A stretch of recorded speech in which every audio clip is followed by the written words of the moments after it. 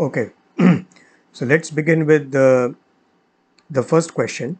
On the left hand side of the screen, uh, we will uh, have the question and on the right hand side, we will have the solution.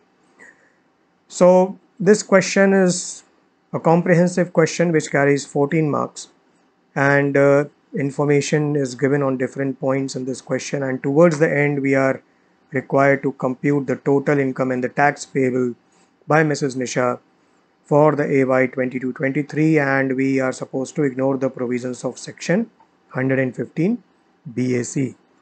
So the tax is to be uh, computed and the total income also is to be computed as per the regular provisions. So Mrs. Nisha is a resident individual aged 54 years which means she is not a senior citizen.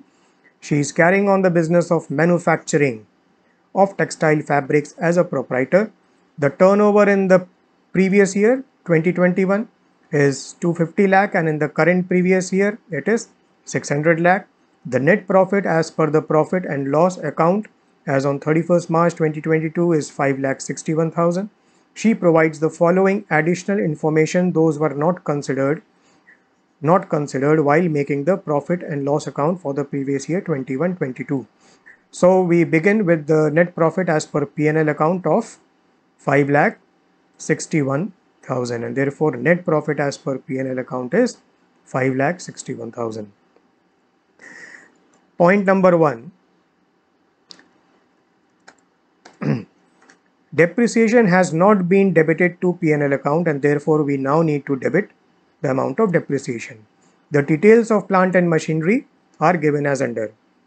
1st April opening written down value is given and on 3rd of July a new machinery has been purchased and payment made by account pay check 7 lakh 25,000 and on 10th of March one machinery has been sold for 75,000. She does not have any other fixed assets employed in the business. Point number two is related to this point. Received subsidy of 20% on new machine purchased on 3rd July, which is this machine. During the previous year under technology upgradation fund scheme from the central government.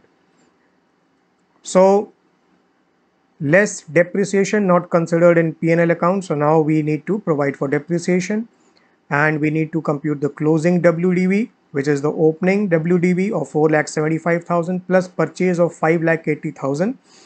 And how did we arrive at 5 lakh 5 lakh 80,000? 7 lakh 25,000 which is given as the purchase price minus 20% of this amount which is 1 lakh 45,000 subsidy. And then further the sale of 75,000 is to be reduced which gives us the closing WDV for purpose of computing depreciation of 9 lakh 80,000. Subsidy is required to be reduced because if we look at the manner of computing actual cost these amounts are to be reduced if they form part of actual cost and subsidy is one of the amounts received from the government used to meet the cost of asset and accordingly the subsidy has been reduced.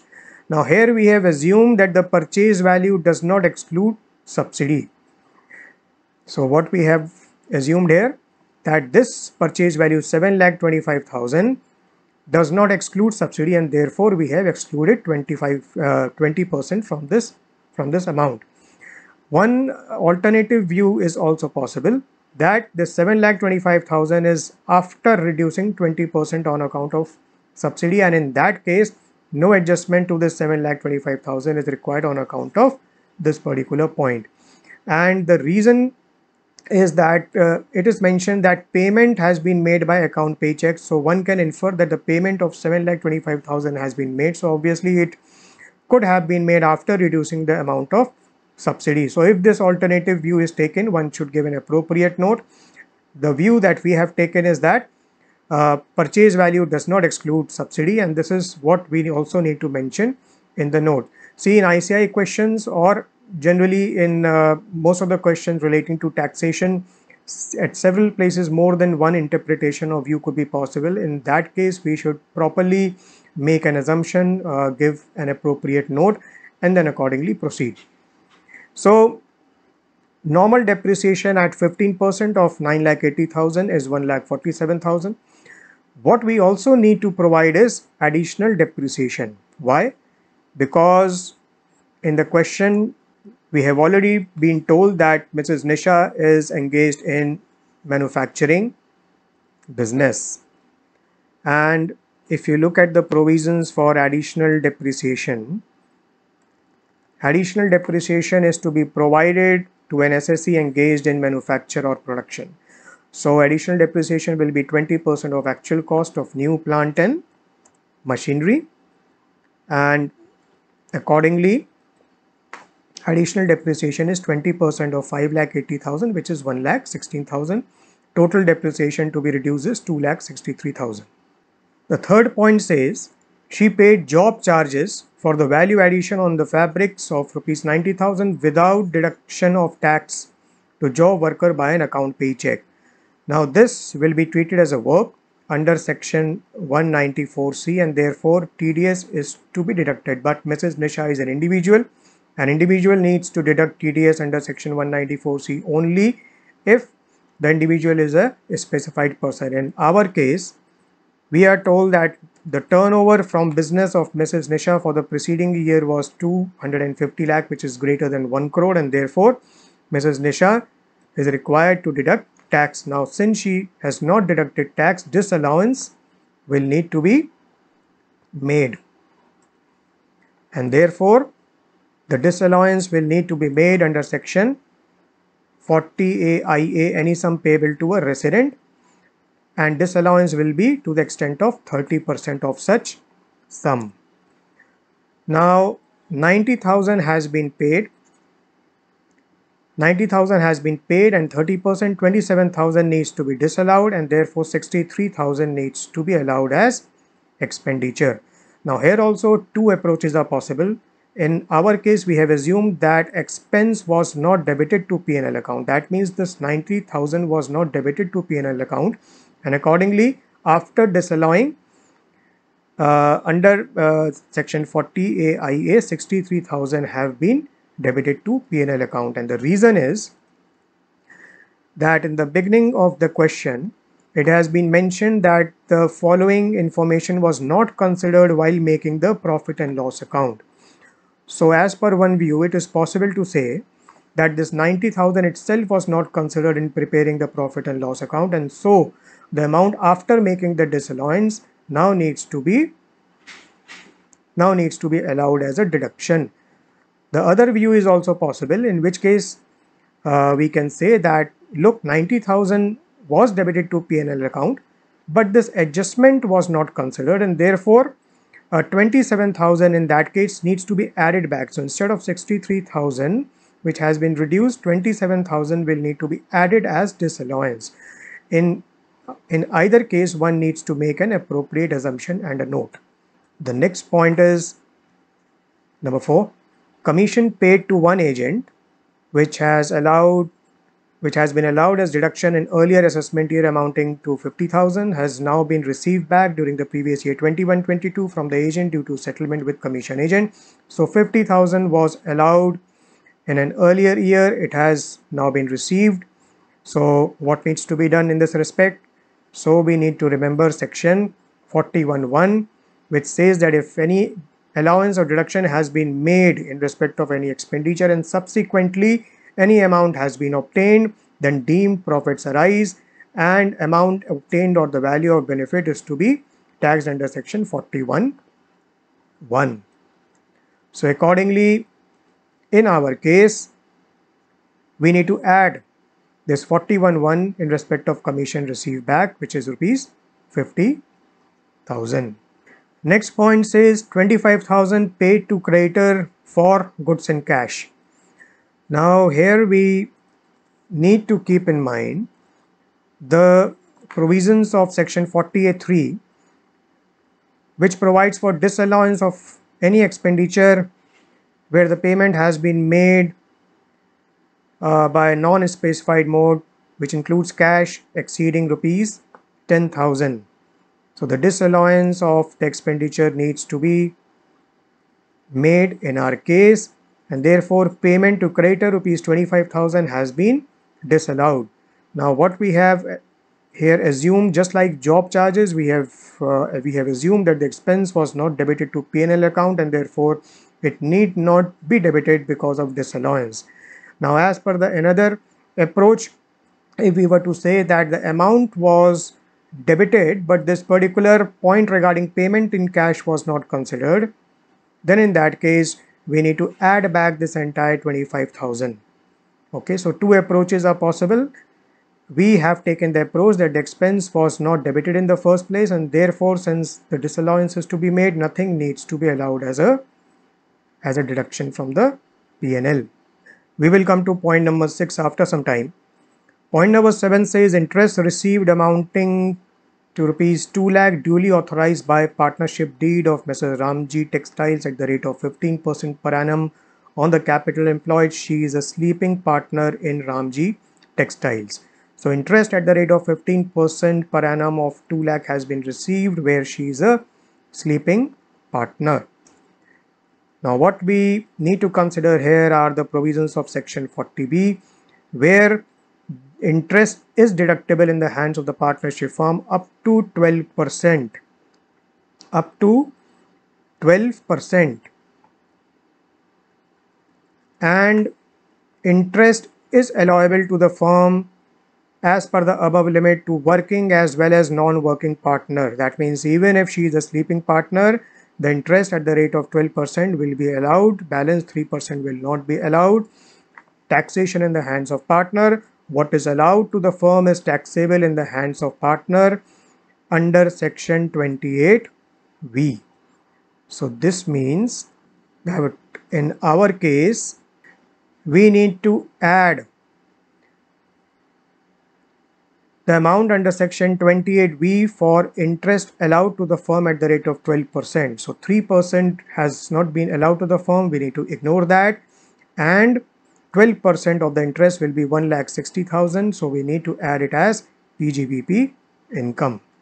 After making these adjustments, the profit from the manufacturing business comes to 4,45,000. Now let's look at point number 6 incurred loss of 1,17,500 from an eligible transaction carried out in respect of trading in derivatives in a recognized ex stock exchange. Now, since this is a case of, of uh, trading in derivatives, uh, PGBP will apply, capital gain will not apply.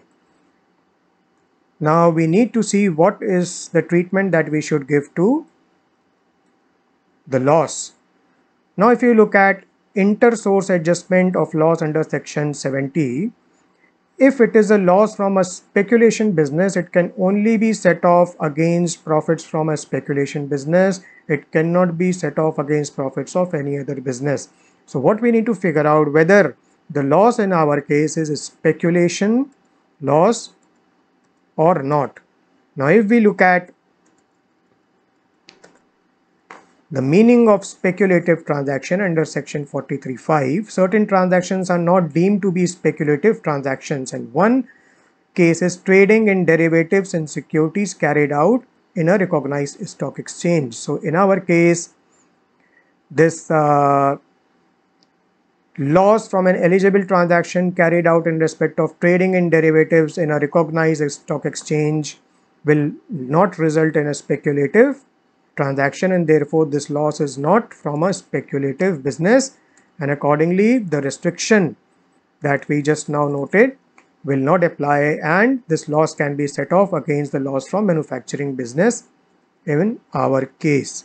So we come back to our solution and we set off the derivative loss under section 70 it is not speculative loss. So 1,17,500 can be set off which gives us the total PGBP income of 3,27,500.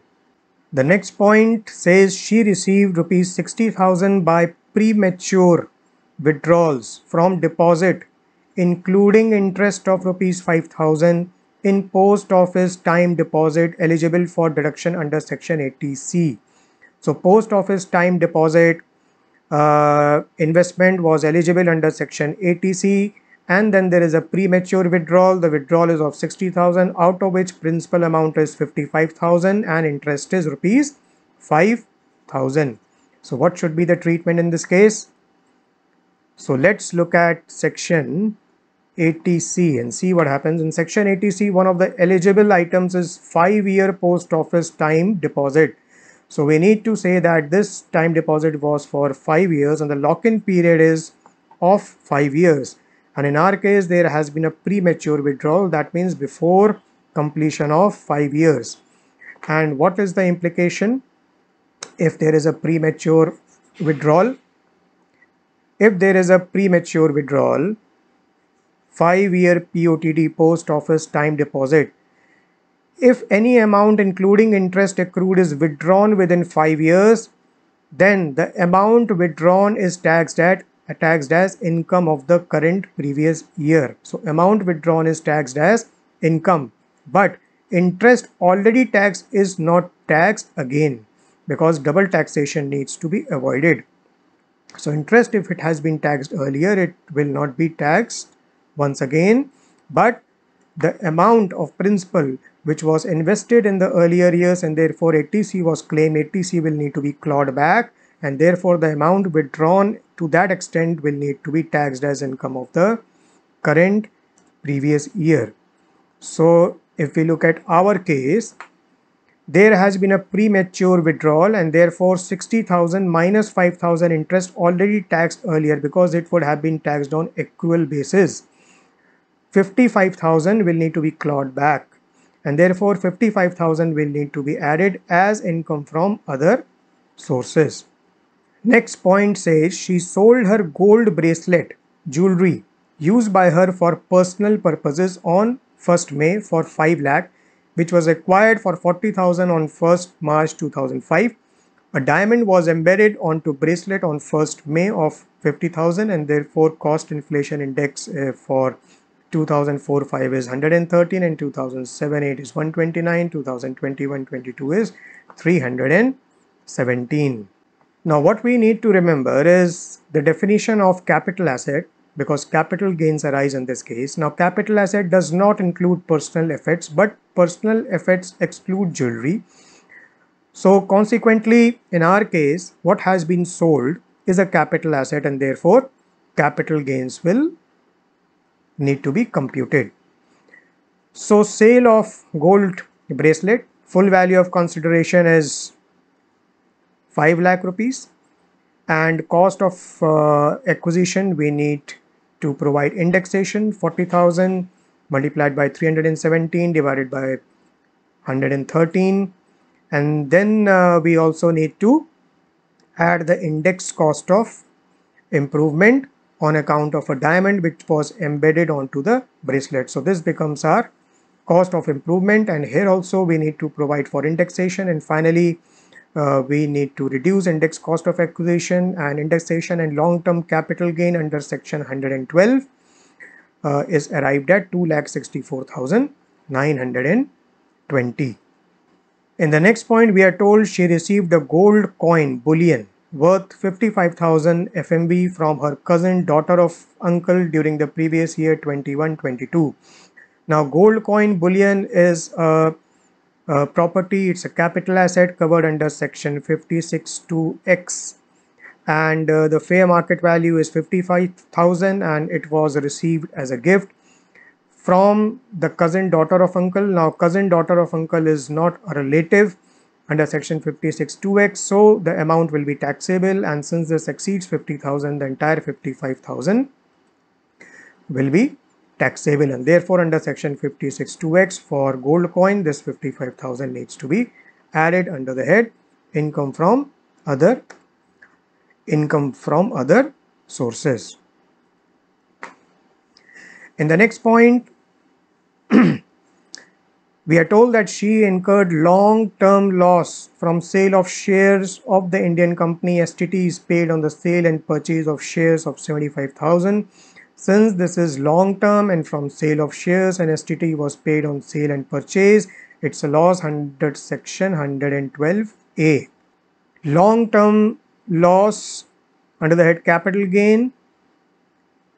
can be set off from long-term capital gain under section 112 under section 70 inter source adjustment so 75,000 can be set off which gives us the total capital gain amount of 189920 and accordingly we arrive at the gross total income of 627420 okay let's look at last point first she purchased the new residential house during the previous year and paid stamp duty and registration fees 1,55,000 to get transfer of the property in her name. So two items have been paid for residential house. Now we need to see whether this can be allowed under section 80C. So payments for purchase or construction of residential house and uh, one of the items is stamp duty and registration fees.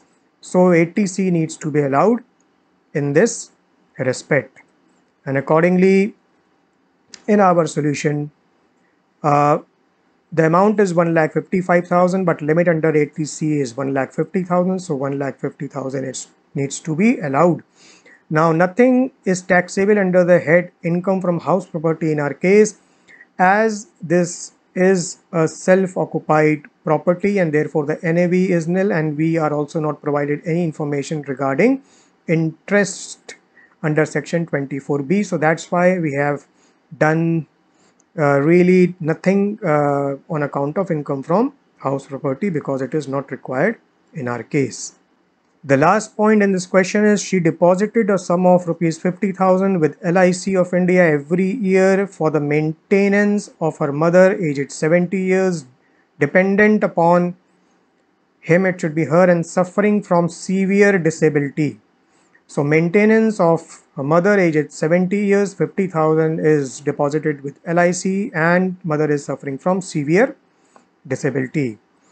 Now this should take our attention to the provisions of section 80DD where the assessee, Mrs. Nisha is an individual and amount has been deposited in approved scheme of LIC for maintenance of dependent and parent is a dependent and uh, therefore deduction under section 80 DD needs to be provided and a flat deduction of rupees 1,25,000 for severe disability will need to be provided even if the expenditure is only 50,000 in our case.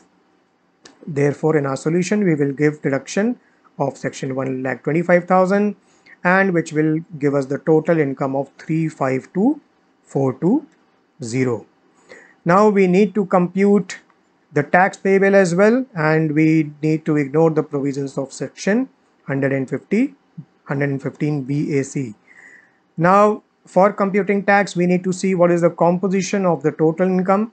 So LTCG under section 112 which we computed earlier LTCG which was this balance amount after setting off the loss under section 112A was 189920. The balance income is 1,62,500. Now the basic exemption limit in our case is 2,50,000 and we note that the regular income is less than this basic exemption limit. So unexhausted basic exemption limit is 2,50,000 minus 162,500 it is 87,500 and therefore LTCG tax on LTCG under section 112 will be at the rate of 20% but it will not be computed on 189920 but it will be computed on the amount which is 189920 minus the unexhausted basic exemption limit which is 102420 and this will be therefore 20% 20,484 since we have uh, long-term capital gain under section 112 if we look at this table 112 then we will note that rebate under section 87a is also to be allowed. And we know that rebate is to be allowed to a resident individual whose total income does not exceed 5 lakh and it is lower of tax on total income or rupees 12 lakh uh, sorry or rupees 12500 and therefore the conditions for allowing rebate in our situation are being satisfied because total income doesn't exceed 5 lakhs so rebate of 12500 will be provided. And on the balance we will need to add 4% HEC and tax on total income will accordingly be rupees 8303 so this brings us to the end of question number 1 let's come to question number 2 a Discuss the liability of tax deduction at source under the Income Tax Act in respect of the following cases with reference to AY 2223. Point number one. We are told that XY, a partnership firm, is selling its product R through the e-commerce platform provided by AB Limited, who is the e-commerce operator AB Limited. Created in its books of account the account of XY on 28 February 2022 by a sum of 4 lakh 90,000 for the sale of product R made during the month of February 2022. Mr. Rai, who purchased product R through the platform provided by AB Limited, made payment of 60,000 directly to XY on 21st February 2022. Now, in our case, what is relevant are the provisions of section 194O where the e-commerce operator needs to deduct tax at the rate of 1% of the gross amount of sales or service. Uh, and uh, uh, the payee is a resident e-commerce participant, a person who sells goods or provides services including digital product through e-commerce operators facility or platform. So in our case, these conditions are being satisfied because XY, a partnership firm, XY is selling its product R through the e-commerce platform provided by AB Limited, who is the e-commerce operator. So AB Limited will need to deduct tax at the rate of 1% under section 194O but we are also told that payment made by a purchaser directly to e-commerce participant for sale of service facilitated by e-commerce operator is deemed to be amount credited or paid by e-commerce operator to e-commerce participant and is thus included in the gross amount for deducting TDS. Therefore,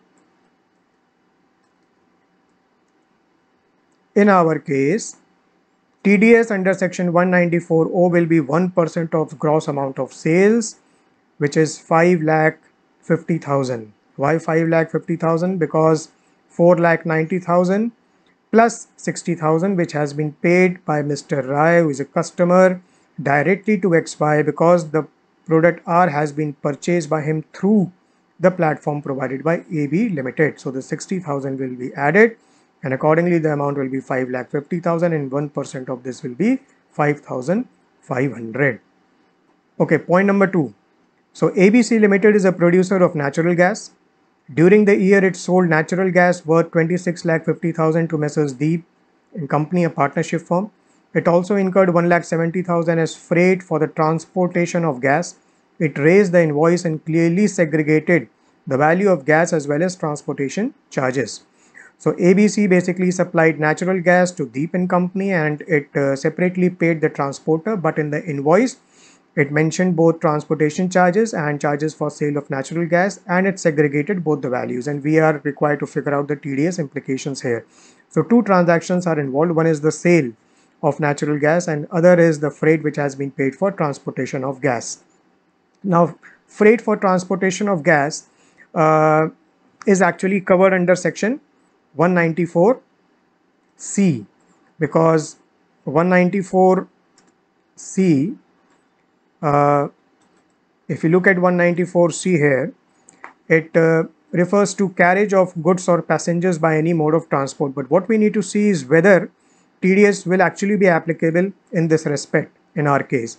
So there is a circular number 9 of uh, 2012 which refers uh, to a situation of gas transportation and if you look at the circular, it says that if the owner or seller of the gas sells as well as transports the gas to the purchaser till the point of delivery, where the ownership of gas to the purchaser is simultaneously transferred, it is a contract of sale and not a contract for carriage of goods under section 194C.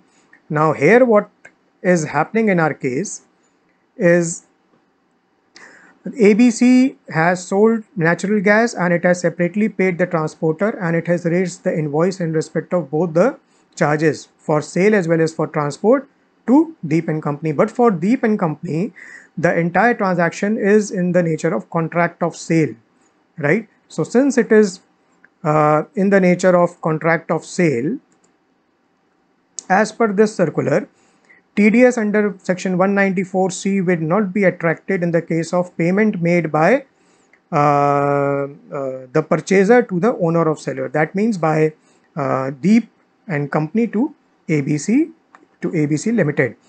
And the circular further says that the manner of raising the sale bill, whether the transportation charges are embedded in the cost of gas or shown separately does not alter the basic nature of the contract which remains essentially a contract for sale. And 194C doesn't apply to contract of sale. It applies to a works contract. Hence TDS is not applicable on the component of gas transportation charges paid by the purchaser to the owner or seller of gas. But the transportation charges paid to a third party, in our case the transporter, because uh, ABC, uh, because uh, in our case, because in our case uh, the company ABC Limited has paid the transportation charges to the third party transporter of gas, right? That will continue to be liable to TDS and TDS will be deductible on such payment to the third party. So let's now come back to our situation no TDS will be deducted under section 194C on payment by Deep and company to ABC Limited as it is a contract of sale in accordance with this circular.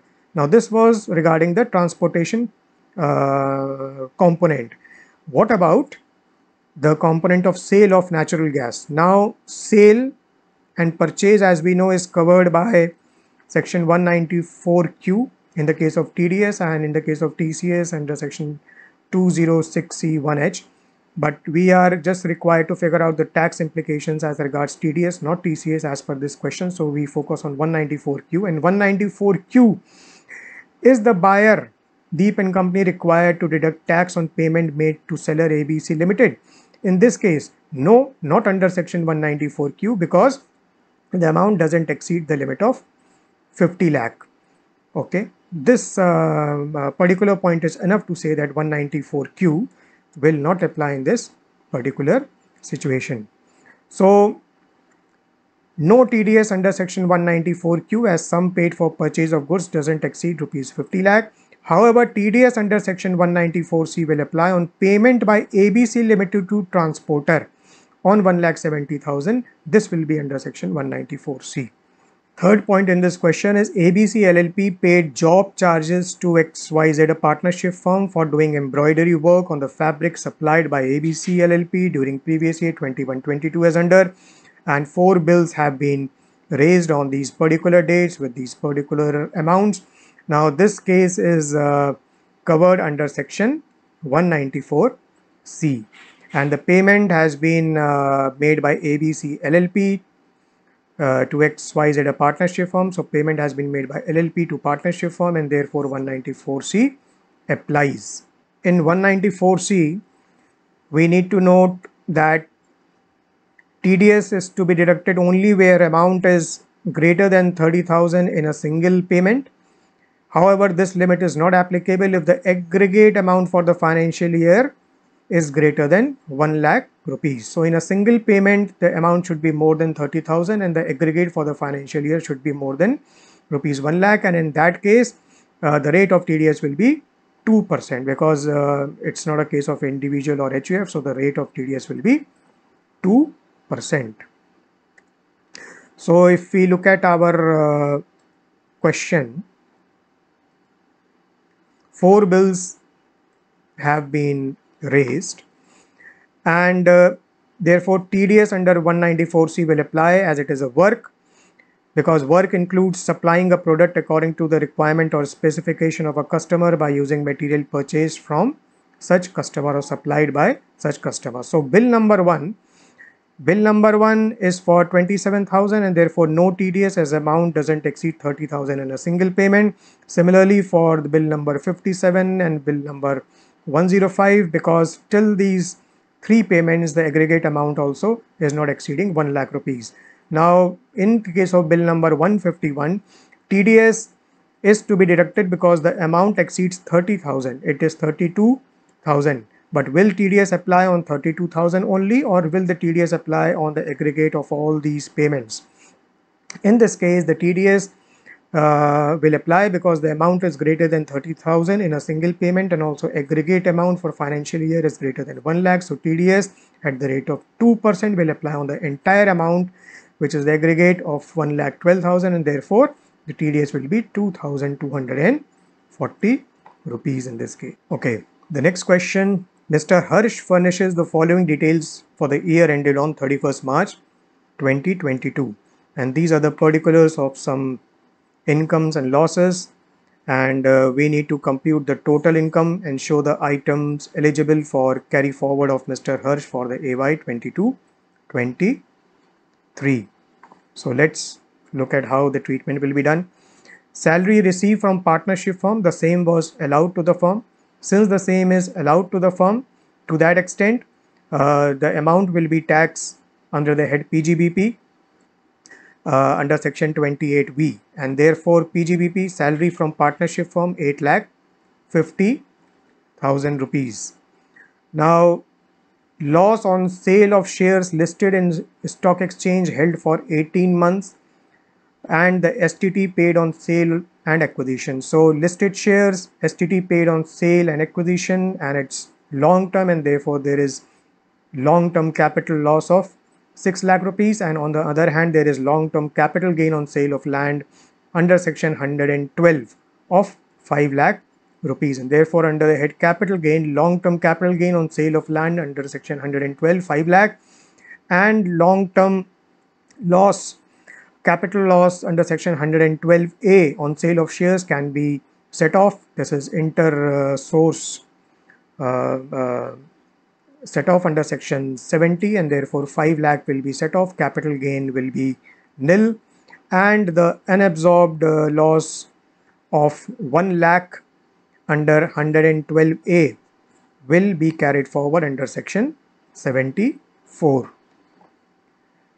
Next point says brought forward business loss of AY 2014-15. Now business loss, brought forward business loss uh, can be set off, can be carried forward to assessment year 22-23 because 8 years is the time period and 22-23 uh, is actually the last year from 2015-16. Uh, so the 6 lakh, the 6 lakh brought forward business loss can be set off you know against the PGBP income which was salary from partnership firm which takes the balance to 2 lakh 50,000 in respect of PGBP. Now loss of specified business covered in section 35 AD 3 lakh 50,000. Now this cannot be set off because 35 AD loss can be set off only against uh, specified business uh, profit of specified business under section 35 AD and therefore it needs to be carried forward and so 3 lakh 50,000 needs to be carried forward. Loss from house property is 2 lakh 50,000. Now house property loss can be set off against uh, uh, PGBP income and the limit of set off is only up to 2 lakh rupees. So 2 lakh is set off and uh, which uh, so uh, the PGBP income balance was 2 lakh 50 and after set off of 2 lakh the PGBP balance is 50,000 rupees house property unabsorbed house property loss of 50,000 will be carried forward under section 71b income from betting gross gross income is included in the total income not the net income after deduction of tax or sort so income from betting is 50,000 and this income uh, needs to be included in the total income and no loss can be set off against winning. So 50,000 is included here. Loss from card games is 35,000 now this is basically a dead loss because this loss cannot be set off and it also cannot be carried forward. So 50,000 becomes income from other sources. We don't have any capital gain and the final PGBP income is 50,000 so total income is 1 lakh rupees and uh, uh, three uh, loss items need to be carried forward 35 AD uh, loss unabsorbed house property loss and unabsorbed 112A loss. Question number C Mr. Sarthak is a member of HUF. It consists of himself, his wife Juhi and his major son Arjun and his minor daughter Aditi. Mr. Sarthak transferred his house property acquired through his personal income to the HUF without any consideration. On 1st October 2021, HUF is partitioned and such property being divided equally. Net annual value of the property for the previous year 21-22 is 1 lakh. Determine the tax implications. So here is a member of HUF who gifted the property to HUF and on 1st of October the HUF is partitioned and the property is divided equally. So what are the tax implications? So on transfer by Sarthak to HUF without consideration, no capital gain will arise by virtue of section 47.3i, right? So at the time when Sarthak gifted the property to HUF, Sarthak will not be liable uh, to pay tax on capital gain. Similarly, when the HUF distributes the assets on its partition, no capital gain will arise under section 47I. Now, in terms of uh, partition, uh, what will be the tax treatment? And in such case, we need to basically look at the provisions of section 64.2 and in such case uh, tax treatment before partition and tax treatment after partition is to be considered. Before partition income from property is taxable in the hands of the individual not HUF that means in the hands of Sarthak. After partition income from property received by self and spouse is to be taxed taxed in the hands of individual that is Sarthak. And uh, that received by others is to be taxed in the hands of respective persons. However as far as others are concerned if the if uh, uh, the income arises to a minor child then it will be clubbed in the hands of the individual in terms of section 64.1a after giving the exemption and of, of rupees 1500 under section 1032 so let's see what uh, uh, happens in our case. Now tax treatment after partition clubbing under section 64.2 and before partition no clubbing uh, the clubbing will be done in the hands of uh, Sarthak to the full extent.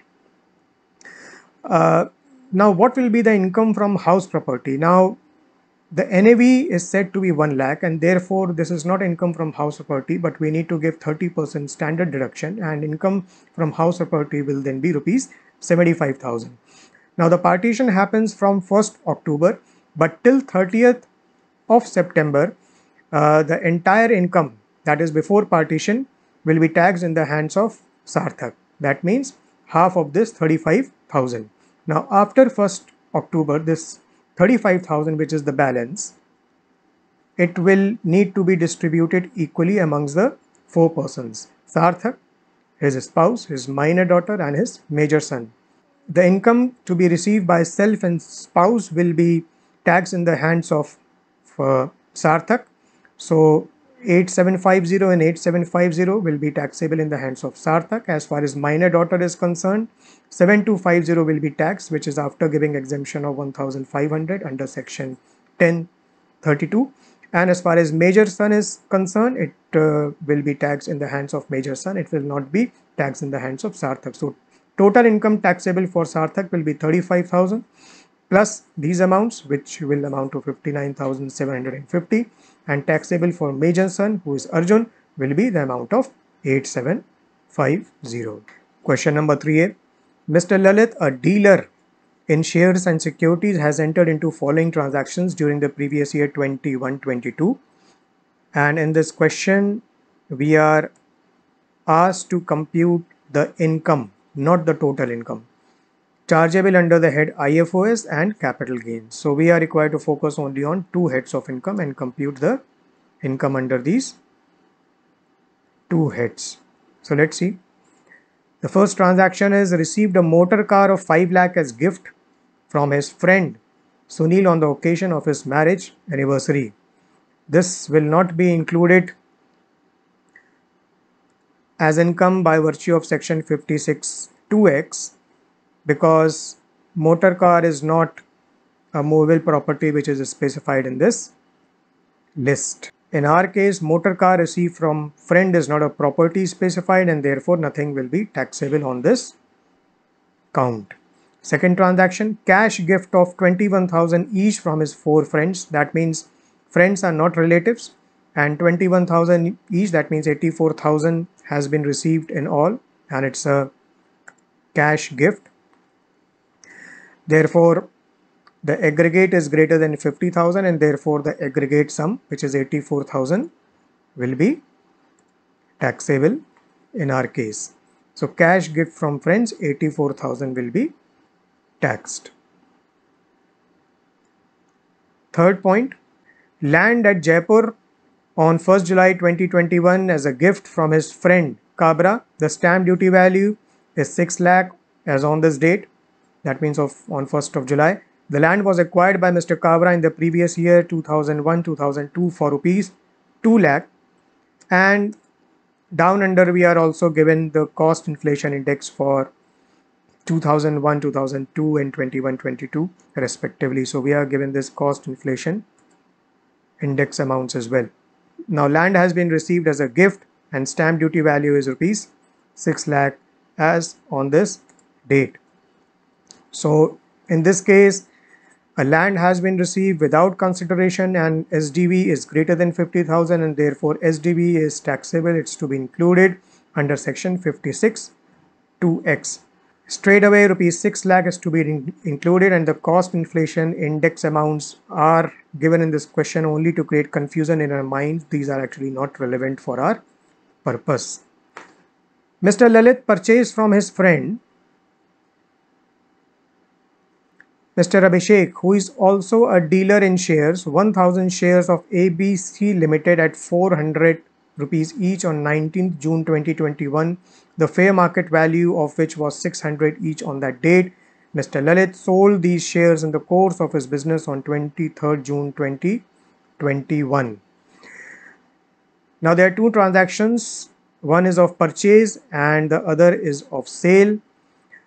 Uh, as far as purchase from his friend is concerned, Mr. Lalit purchased these shares in the course of his business because he's a dealer in shares and sorry, he's a dealer in shares and securities and therefore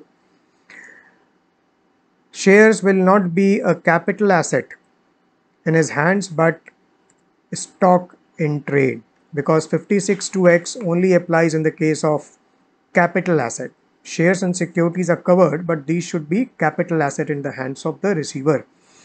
Since that is not the case, it's a stock and trade and therefore the treatment will be given under the head PGBP. Similarly, on sale of these shares, capital gain will not arise because since sale is in the course of his business, the sale will also be covered under PGBP and we are not concerned with computing income under the head PGBP. Therefore, there is no impact either on IFOS head or under the capital gain head. So we can ignore this point. There is no impact and then we move forward.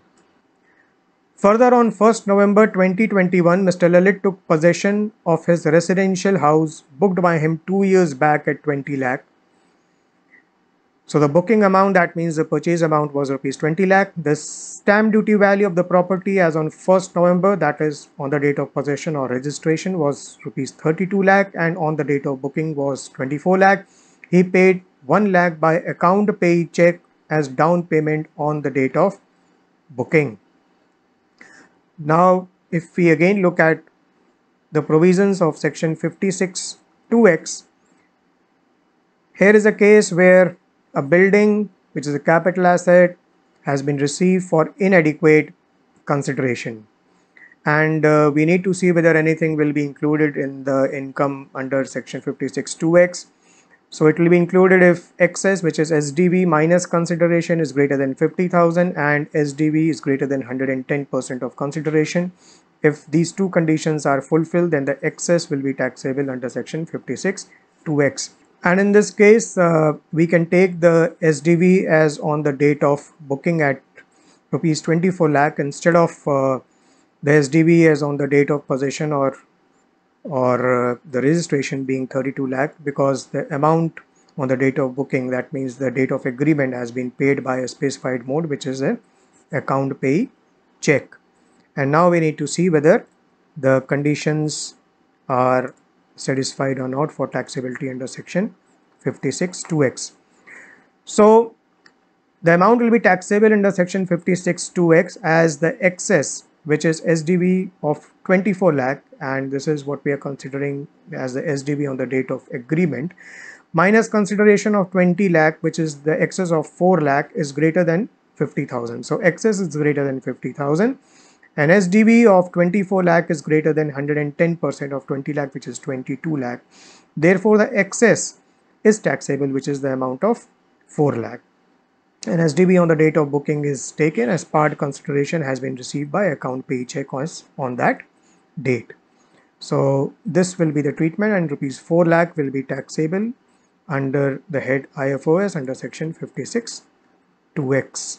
We are further told that he received a shop that is building of the fair market value of 1 lakh 50,000 and cash of 50,000 in distribution from ABC Private Limited at the time of liquidation process of the company in proportion of his share capital. So in proportion of his share capital at the time of liquidation of ABC Private Limited, he received a shop of this fair market value and he received money which is cash of 50,000. Balance in general reserve of the company attributable to his share is 1,25,000. So attributable to his shareholding, his share in the general reserve is 1,25,000 1000. Now what we need to consider here are the provisions of the definition of dividend under section 222 and 222c is relating to distribution to shareholders on liquidation and this is treated as dividend to the extent of accumulated profit whether capitalized or not. In our case we are told that his share in the general reserve is 1,25,000. Now, this amount obviously would be distributed and this is to the extent of accumulated profit, his share attributable to his share. So 1,25,000 is to be treated as dividend under section 222C. And sorry, this is an error. This will be not 5 lakh but 1 lakh 25,000 and consequently this will also need to change. There is section 46 also which specifically deals with the distribution on account of liquidation and uh, distribution of assets to shareholders on liquidation where in the hands of company there is no capital gain and in the hands of shareholders there is dividend under section 222c which we have already covered and then there is this capital gain but one view is that since Mr. Lalit is a dealer in shares and securities, this particular uh, transaction may be covered under the head PGBP. And since we are not required to deal with the head PGBP, we can ignore this point. So we leave it at 222C and then we move to the next point. The last transaction is on 1st March 2022, he sold the plot of land at Jaipur for rupees 8 lakh. So earlier we had covered this point because the land at Jaipur was gifted from his friend and the SDV was 6 lakh and we had included this 6 lakh uh, under section 56 2x. So this is the amount that we had included. Now this land has been sold. Now what will be the tax implication on this count?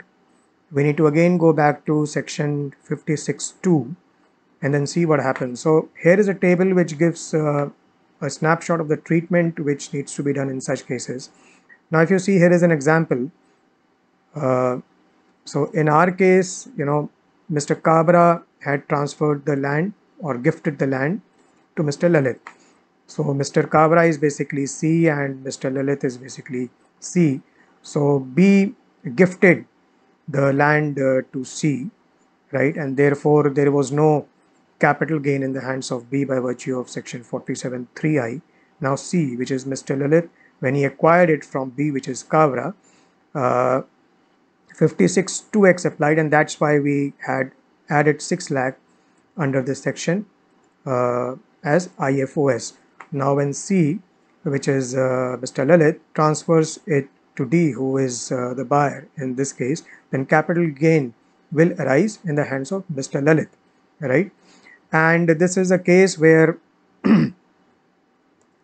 this is a case where 56 2x had applied before and now this is a case of sale because Mr. Lalit is selling the land. So here we need to check the provisions of section 50C but it's not relevant here because we don't have any further information in the question on this count. Cost of acquisition in this case will be the value of property taken into account under section 56.2x. Now this was rupees 6 lakhs. So this will become the cost of acquisition in our case. Period of holding in our case will be period of holding of C which is Mr. Lalit not B. So the earlier period of holding of Mr. Kabra will not be included and the period of holding of Mr. Lalit will be taken and accordingly long-term capital gain or short-term capital gain will arise as per the period of holding. So let's look at our solution now. Now sale of plot at Jaipur, full value of consideration is 8 lakh rupees less cost of acquisition under section 49.4. This is the value of property taken into account under section 56.2x which is 6 lakh which we had taken here before. And short-term capital gain will arise because period of holding in the case of Mr. Lalit is not more than 24 months uh, period of holding of Mr. Lalit is taken and of Mr. Kabra is not included and therefore ST, STCG short-term capital gain of rupees 2 lakh will will arise and therefore the capital gain income will be 2 lakh rupees. We have already discussed that sale of shares purchased from Mr. Abhishek will not be treated under capital gain because it's PGBP and again in the case of liquidation we said that one view could be to treat that as PGBP. So income uh, under the head capital gain would be 2 lakh and income under the head IFOS we have already computed. This is part B. Mrs. Shruti is an Indian citizen, is currently in employment with an overseas company located in UAE. During the previous year 21-22, she comes to India for 157 days. She is in India for 200 days, 100 days, 76 days, and 45 days in the preceding four financial years. Her annual income for the previous year 21-22 is as follows. And then we have been asked to determine the residential status of Mrs. Shruti for the AY 22-23. Now see, she is a Indian citizen and she has come on a visit and her stay in the current year is 157 days and this these are the days of presence in the preceding four previous years and then we have the details of her annual income as well. Now we know that the steps to follow to determine the residential status are that first of all we need to check whether a special rule applies or not and if not then we need to move to the general rule and finally we need to move to the stateless rule. So first we need to check whether any special rule applies or not. These are the special rules. Ship crew rule is not applicable in our case. Employment rule is also not applicable because she doesn't leave India for the purpose of employment. She is already employed abroad. Visit rule and visit and income rule we need to explore. Now, these rules are applicable where a citizen of India comes on a visit to India in the previous year, this is satisfied, and having total income other than income from foreign sources. Now that can either be up to 15 lakh for visit rule, which is this rule, the first rule, and greater than 15 lakh in the previous year, right? So we need to figure out uh, what will be the total income which is which is other than income from foreign sources. If this is up to 15 lakh then the visit rule applies and then we need to see whether the stay was 182 days or more which is not our case because the stay in the current year is only 157 days. If this total income which is other than income from foreign sources is greater than 15 lakh then visit and income rule will apply. And then we need to see whether the person is in India for greater than 120 days in the previous year which is our case because the stay in current year is 157 days and is in India for 365 days or more in the preceding four years which is also uh, satisfied in our case. The preceding four years stays 200 plus 100 this is 300 376 plus 45 which is 421 days. So if the stay in India is less than 182 days then under this rule the person would become RNOR the person would become resident and then the person would be treated as RNOR under the visit and income rule. So the crux is basically to first determine what is the total income which is other than the income from foreign sources now, if we talk about this particular aspect, we are told that income from foreign sources is income which accrues or arises outside India. Okay. But not being income derived from a business controlled in or profession set up in India. That means even if the income accrues or arises outside India, it will not be considered as foreign income if the business even though run outside India is controlled in India or a profession though run outside India is set up in India. This foreign source income does not include income which is deemed to accrue or arise in India because obviously if it is, if it accrues or arises in India uh, it uh, will have a good nexus with India and therefore it will not be considered part of income from foreign sources. Okay, so See, stay in the current previous year is 157 days. Stay in preceding four years is 421 days. We have already considered the scope of income from foreign sources and now we see what will be the position. So the first item of income is income from salary earned and received in UAE and uh, this accrues or arises outside India and therefore it will be income from foreign sources. This is income from foreign sources and this is income which is other than income from foreign sources. Second is income earned and received from a house property situated in UAE. This is uh, also income which accrues or arises outside India. So this will be income from foreign sources. Income deemed to be accrued and arisen in India because foreign sources income doesn't include income which is uh, deemed to accrue or arise in India, it will be not considered as income from foreign sources. Fourth is income from retail business accrued and received outside India but controlled from India. So the business is controlled from India and if the business is controlled from or controlled in India, it will not be considered as foreign income. So therefore we put 10 lakh here income accrued and arises in India, it obviously won't be foreign income, foreign source income and therefore we put it here. So the total of this is 7 lakh, the total of this is 18 lakh and we are told that life insurance premium has been paid by check in India 1 lakh 50,000. So to determine the total income we provide deduction under section 80C of 1 lakh 50,000. Therefore income from foreign sources is 7 lakh and total income which is other than income from foreign sources is 16 lakh 50,000. Now the 16 lakh 50,000 which is total income other than income from foreign sources is more than 15 lakh. And as we discussed in the chart related to visit and income rule, Mrs. Shruti is a citizen of India. She comes on a visit to India in the previous year 21-22 and has total income other than income from foreign sources greater than 15 lakh in the previous year. She is in India for at least 120 day 120 days 120 days or more because it's 157 days in her case and is in India for 365 days or more in the preceding four previous years she is for 421 days. She is in India for less than 182 days in the previous year right? And hence she is a resident and not ordinarily resident RNOR under the visit and income rule. Her residential status is RNOR let's look at the next question the assessee is found to be the owner of gold, market value of which is 50 lakh during the financial year ending 31st March 2022, but he recorded to have spent only rupees 10 lakh in acquiring the same. Explain how the assessing officer will deal with the issue. Now, we need to consider the provisions of section 69b in this case which says that where in any financial year the assessee has made investments or is found to be the owner of any bullion, that means gold in our case, and the AO finds that the amount spent thereon exceeds the amount recorded, right?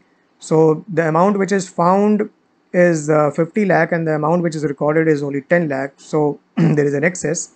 In the books of account and the assessee offers no or unsatisfactory explanation about such excess amount, then the excess amount may be deemed to be the income of the assessee for such financial year. So this is how the assessee, how the assessing officer will, will treat. So if there is no or unsatisfactory explanation forthcoming, then the excess amount can be deemed to be the income of the assessee for such financial year under section 69B. And if section 69B applies, then the taxation will happen under section 115 BBE in respect of section 69b where the rate of tax will be 60%, rate of surcharge will be 25% and rate of uh, HEC will uh, be 4%. so now look at how to deal with this in our question. So in our question we have deemed income under section 69b 50 lakh minus 10 lakh the excess of 40 lakh and tax will be levied under section 115 BBE which is 60% of this is 24 lakh and then we add 25% surcharge and 4% of HEC and the final tax comes to 31 lakh 20,000 under section 69B read with section 115 BBE. So this is question 4A. From the following particulars furnished by Mr. Suresh aged 53 years, so he is not a senior citizen, a resident Indian for the previous year ended 31st March 2022, you are requested to compute his total income. Number one. And number two, tax payable, assuming he does not opt for section 115 BAC. So the first point, we are told that he sold his vacant land on 9th December 2021 for rupees 15 lakh and stamp duty value of land at the time of transfer was 19 lakh. The fair market value of the land on 1st April 2001 was rupees 6 lakh on which date the SDV was rupees 5 lakh. This land was acquired by him on 5th August 1996 for 3.4 lakh and he had incurred registration expenses of 15,000 at that time. The cost inflation index for 21-22 and 2001-2002 are 307 and 100 respectively. So he sold the land on uh, uh, for 15 lakh on which the, the stamp duty value was rupees 19 lakh. So capital gains will arise and full value of consideration will need to be determined under section 50C. Since stamp duty value is more than 110% of consideration, 100 uh, stamp duty value will be taken as the full value of consideration. So 19 lakh will be taken as the full value of consideration for this purpose. We will have to reduce the indexed cost of acquisition for this purpose. So cost of acquisition multiplied by 317 divided by 100 which are the cost inflation index numbers. Cost of acquisition will be, now when we determine the cost of acquisition, we need to note that in case of asset acquired before 1st April 2001, the cost of acquisition is higher of the actual cost or the fair market value on this date However, in case of land or building, fair market value cannot exceed the stamp duty value on this date. So accordingly, in our situation, the cost of acquisition will be higher of the actual cost which is 3,55,000. 3,55,000 as 3,40,000 is the acquisition cost of land and uh, you add the registration expenses of 15,000 so 3.55 so 3 lakh 55,000 higher of 3 lakh 55,000 or fair market value of 6 lakh. However it can't exceed the stamp duty value on this date which is 5 lakh. So higher of 3 lakh 55,000 or 5 lakh becomes 5 lakh. And we apply the cost inflation index and this becomes our index cost of acquisition and finally the long term capital gain which is 100 uh, which is under section 112 becomes 3 lakh 15000 rupees next point he owns an industrial undertaking established in a SEZ and which had commenced operation during the financial year 2019-20. Total turnover of the undertaking was 300 lakh which includes 1 lakh 120 lakh from export turnover. This industrial undertaking fulfills all the conditions of section 10AA of the Income Tax Act. Profit from this industrial undertaking is rupees 30 lakh. So hmm, this means we need to look at the provisions of section 10 AA in our case. 10 double a deduction will be available and uh, since the current assessment year falls within the first five years from the date in which uh, uh, in which the undertaking commenced operations which is 2019-20 100% of profits derived from export will be allowed as the deduction under section 10 double a So 100% of profits derived from export. This means profits of the business of the unit multiplied by export turnover divided by total turnover. 100% of this will be allowed as deduction under section 10 AA. And how is deduction under section 10 AA allowed? Deduction is to be allowed from the total income of the assessee computed under the act before giving effect to this deduction and deduction shall not exceed such total income. So first we compute total income and after that we allow deduction under section 10 double A. So the profit from the undertaking is 3 lakh rupees. So we include this under the head, uh, sorry, it's 30 lakh rupees. So we include this under the head PGBP.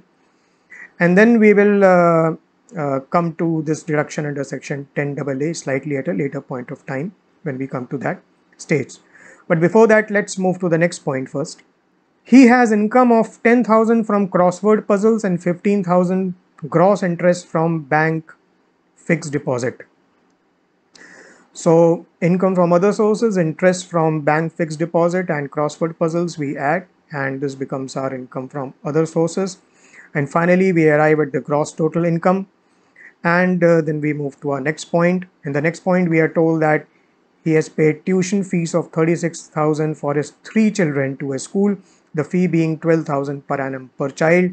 We know that deduction under section 80C can be claimed up to any two children.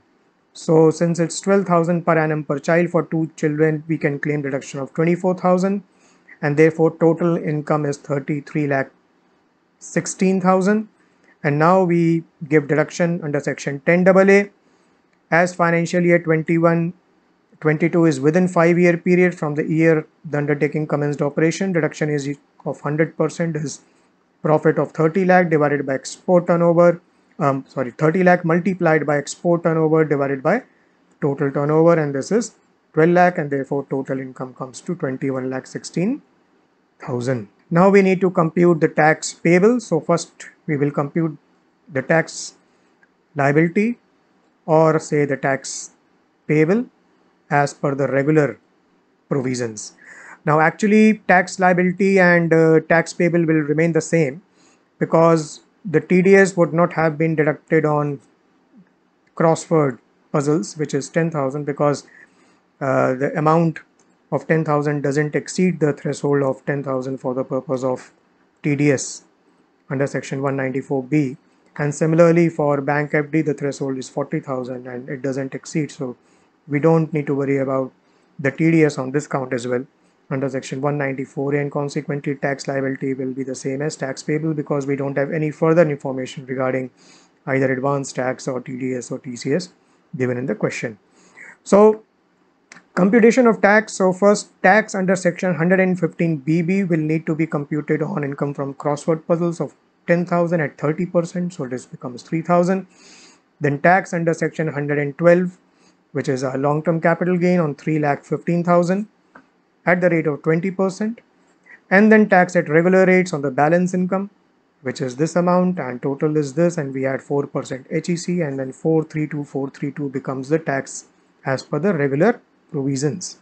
Now this is not the end of the story because what we need to remember is that the assessee has taken deduction under section 10 AA as well.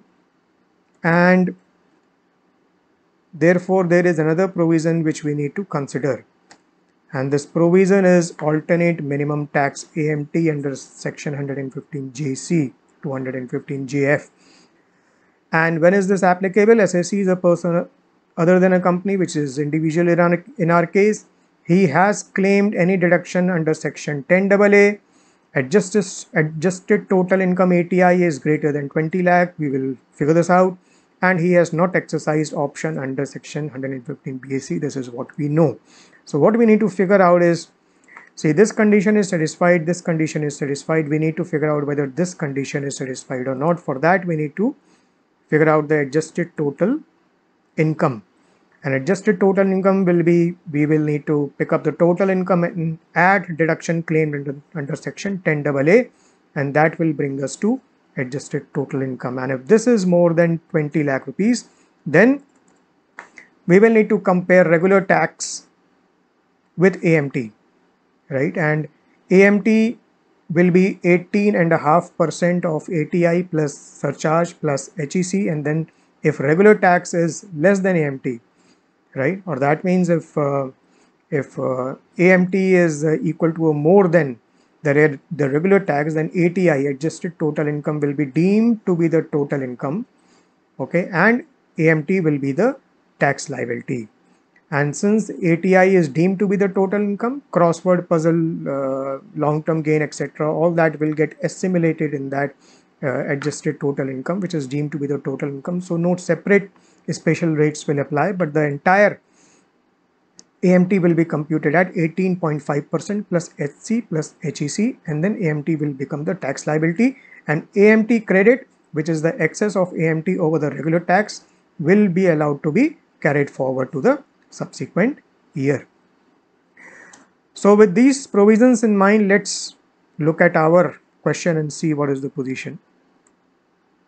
So we have figured out the regular tax liability at this amount and now we need to see what happens under AMT. So adjusted total income will be total income which we which is this 21 lakh 16,000 plus 10 double A deduction which we allowed and this comes to 33 lakh 16,000. Now since this is greater than 20 lakh and 10 double A has been claimed and 115 BAC is not opted for, AMT is applicable.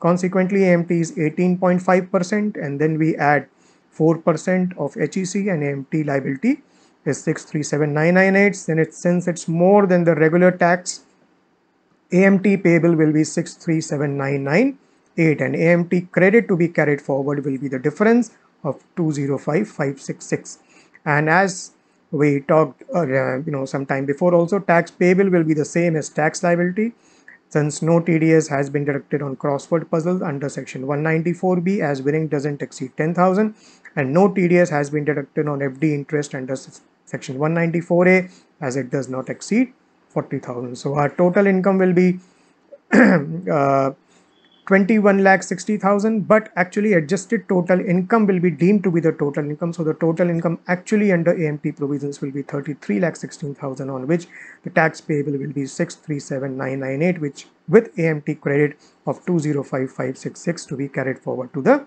subsequent year. Next question.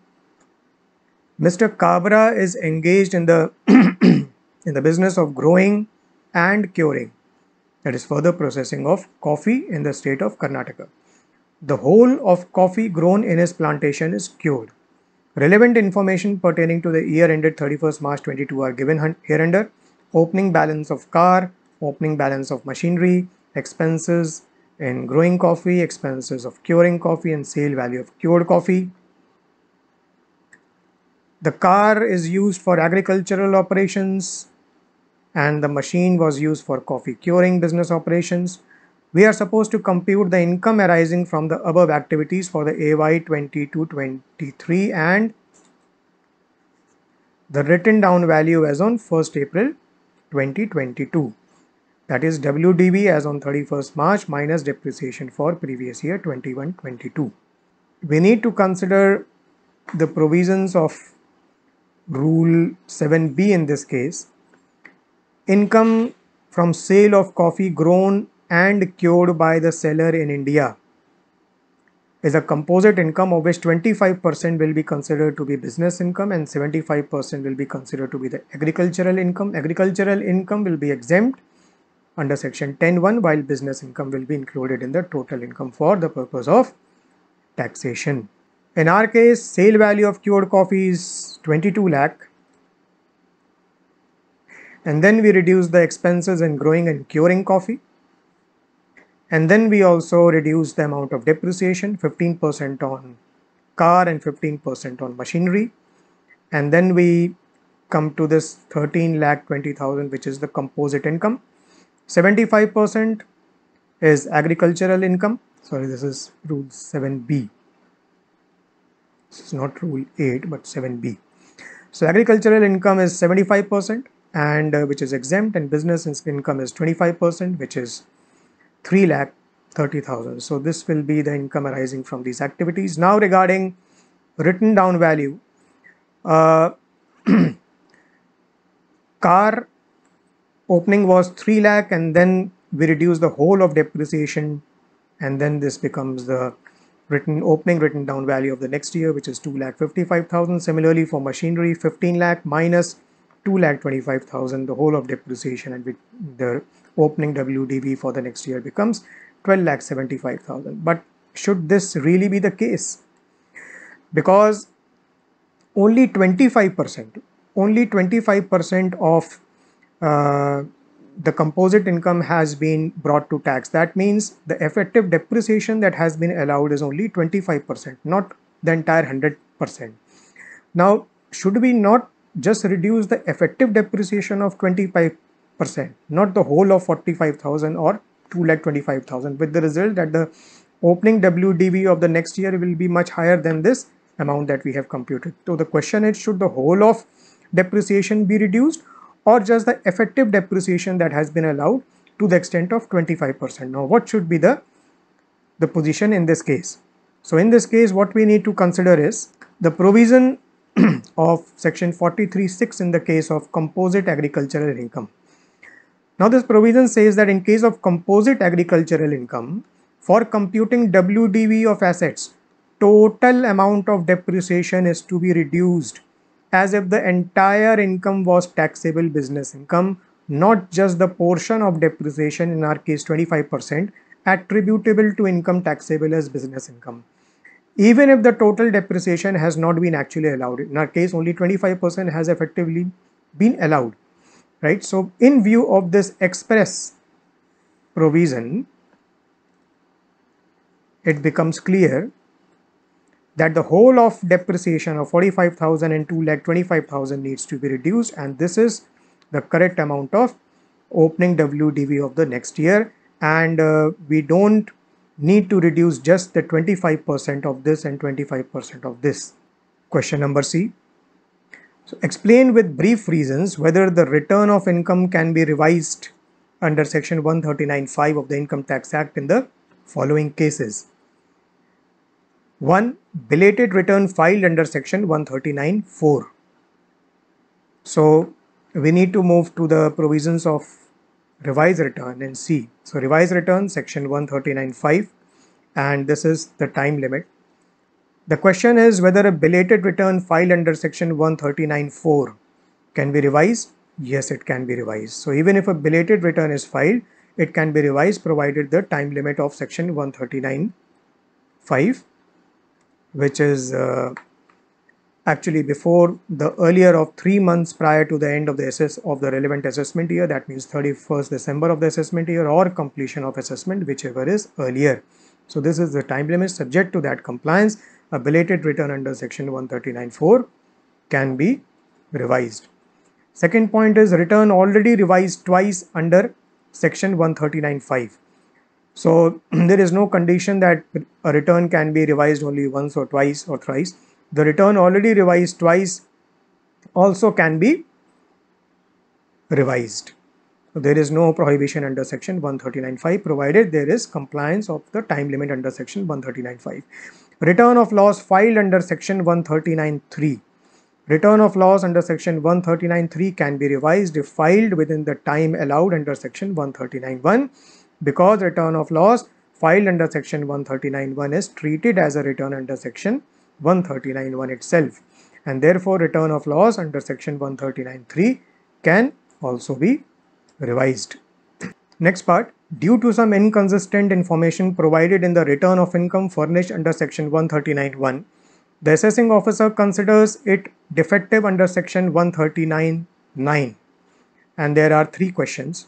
And therefore we need to look at the provisions of section 139.9 and then figure out what will be the answer.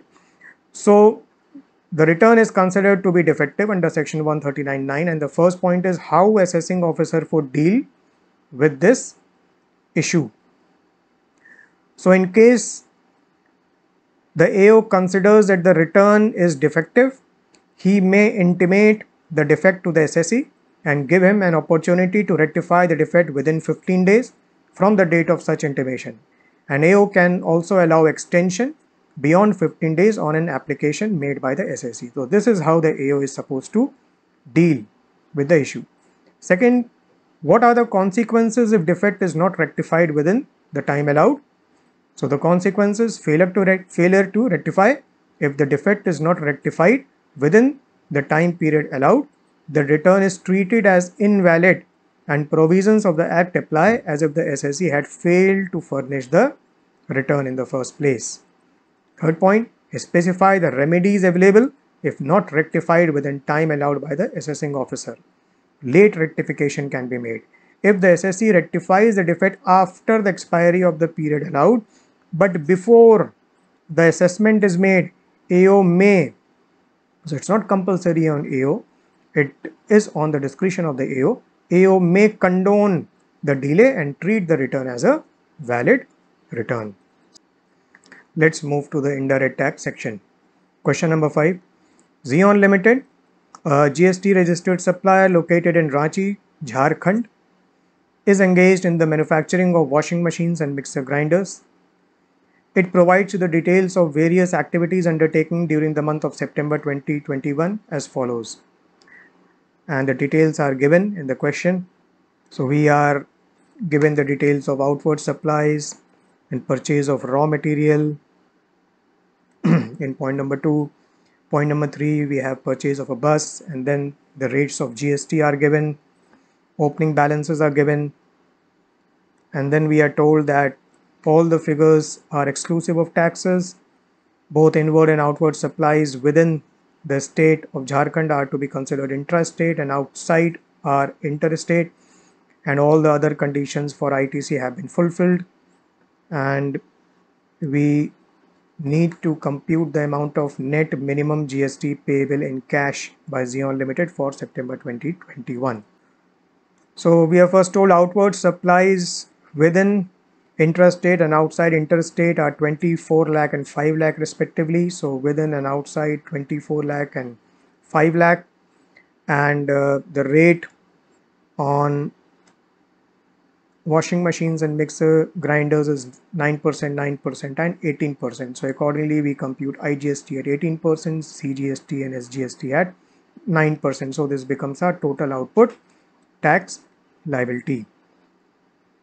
Next we are told that there is a purchase of raw material from registered dealers within so intrastate the Jharkhand which includes includes materials worth 2 lakh purchased from Mr. Krishna, a registered person who is paying tax under composition scheme.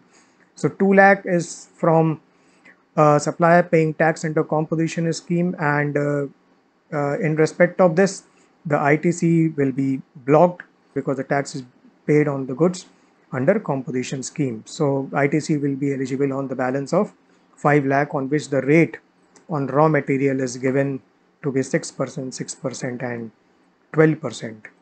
So, but before doing this, we need to also look at the opening balances, which is given as 20,000, 5,000 and 95,000. So in the statement of eligible ITC, we put these opening balances. Then in respect of purchase of raw material, excluding purchase from Krishna as taxes paid under composition scheme. So balance is 5 lakh on which uh, the rate is 6% and consequently CGST and SGST paid is added to the statement of eligible ITC.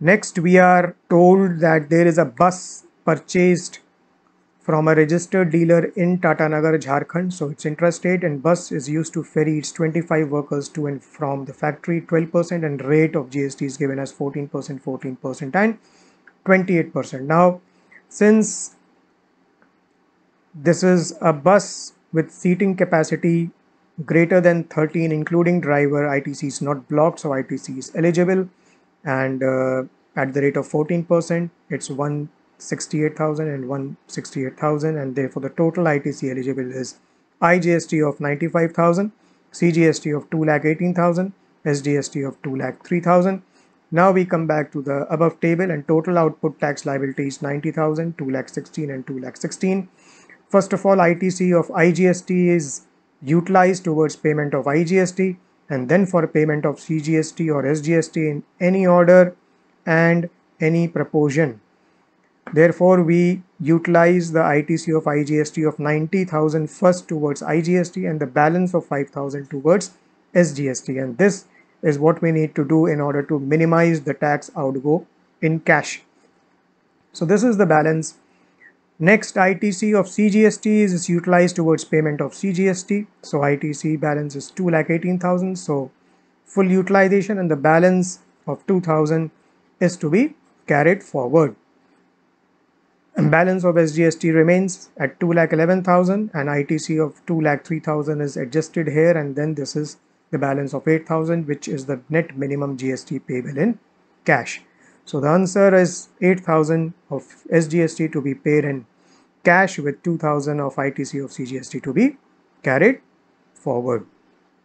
Next question, number 6a. XYZ Private Limited provided the following particulars relating to goods sold by it to ABC Private Limited and uh, in the question we are asked to determine the value of taxable supply made by XYZ Private Limited under GST law.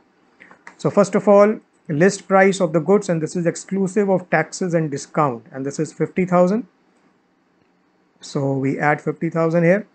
Tax levied by the municipal authority on the sale of such goods and this is not included in the list price. So this is supposed to be included under section 15 1 so 6000 we add packing charges are to be added and since these are not included in the list price 2500 is to be added subsidy received from an NGO and it's directly linked to the price and therefore it needs to be included in the value and it's already included in the list price so we need not make any further adjustment paid to one of vendors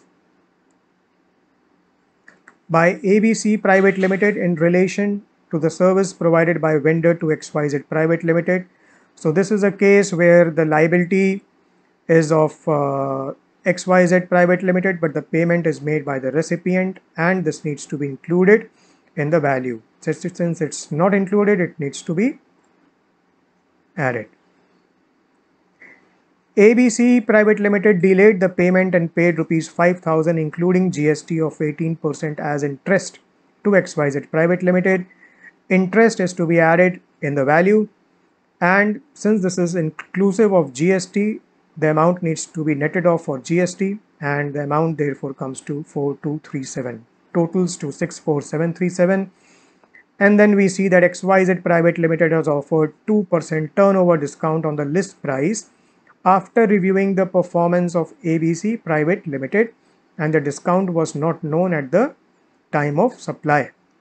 So this is a post supply discount. As was not known at the time of supply so it is not required to be excluded. So no adjustment is required and therefore the value becomes 64737 so next question examine whether the following activities would amount to supply under GST law. Glory Limited is engaged in manufacturing and selling of cosmetic products.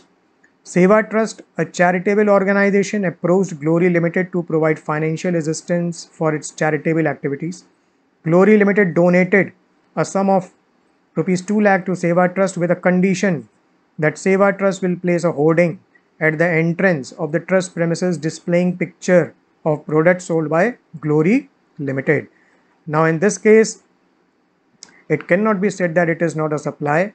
It is a supply because there is a supply of service which is advertisement by the trust and there is a consideration in the form of donation although it is called as a donation but it is consideration for the advertisement services which are rendered so it cannot be said that there is no quid pro quo and therefore there is no consideration and therefore there is no supply. There is quid pro quo and therefore there is consideration and there is a supply of service.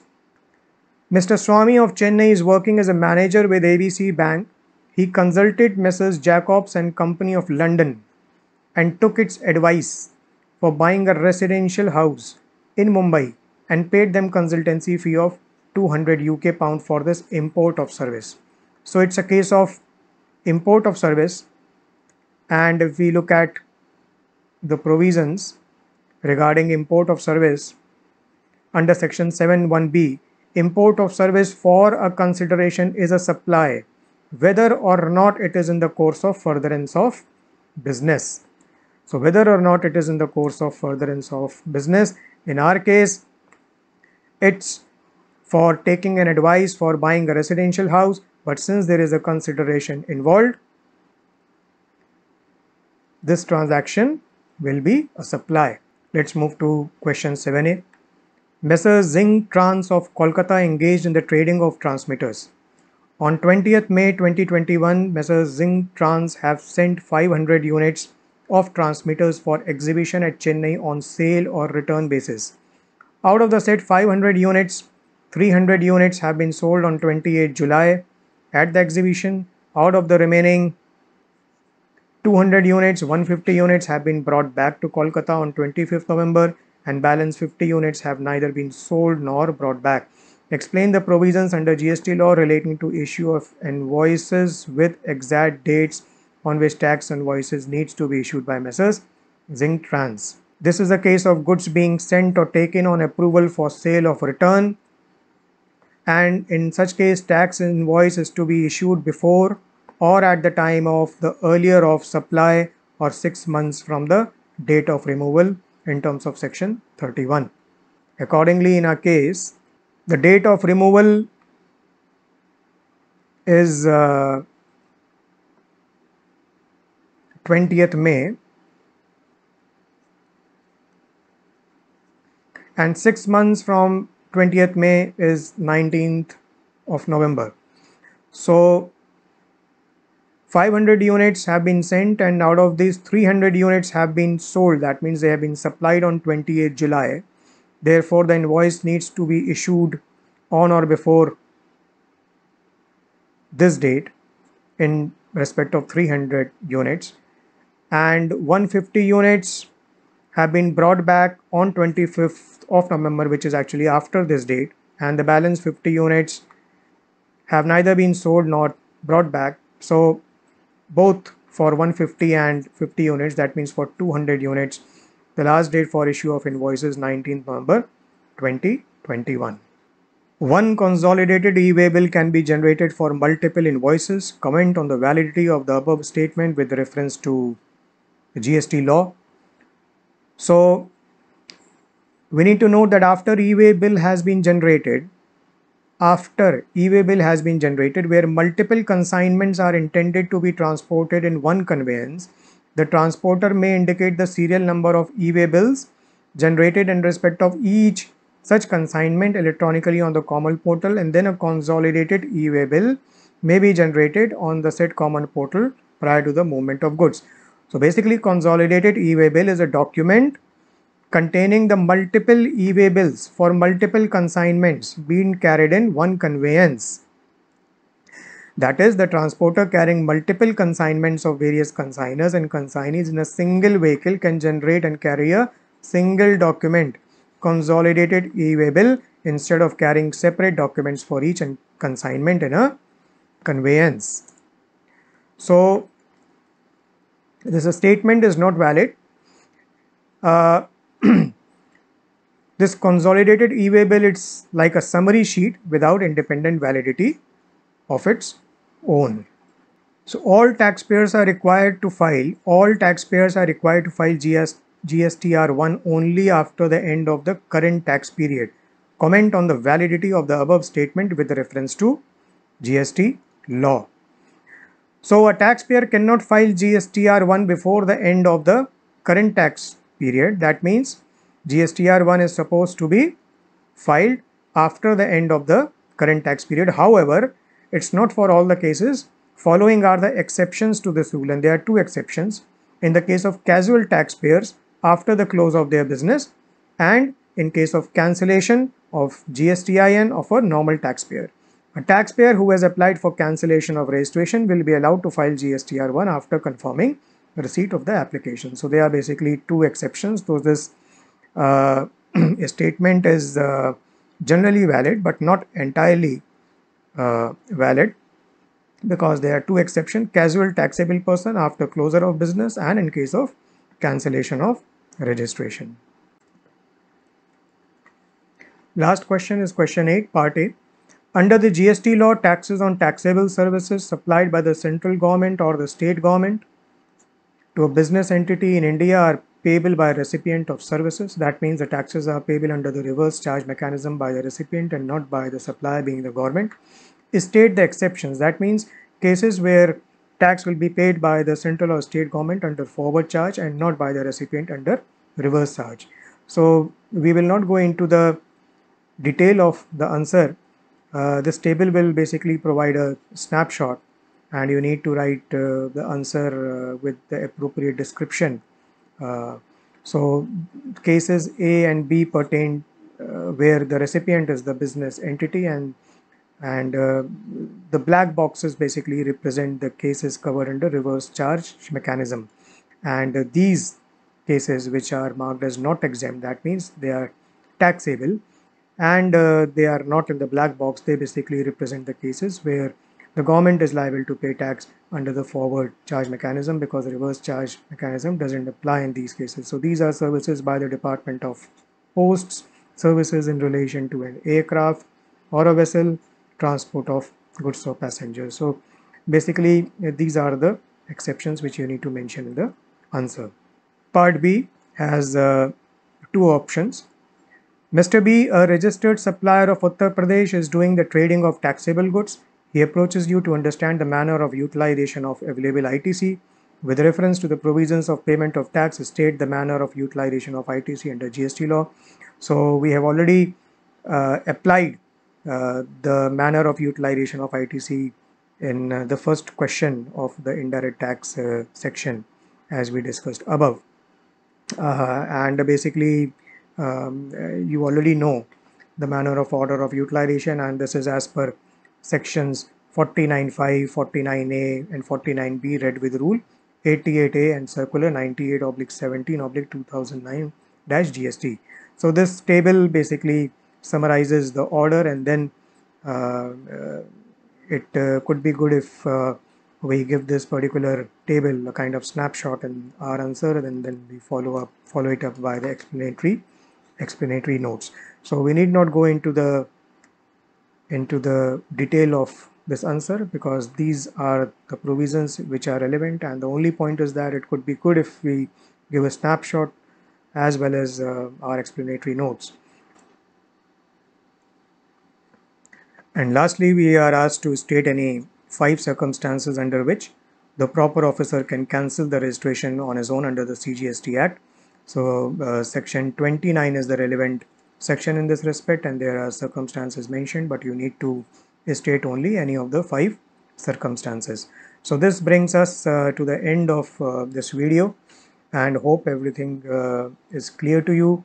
If you have any doubts or any clarification or if you want to ask anything, feel free to write in the comments box and I will be more than happy to answer your questions and queries.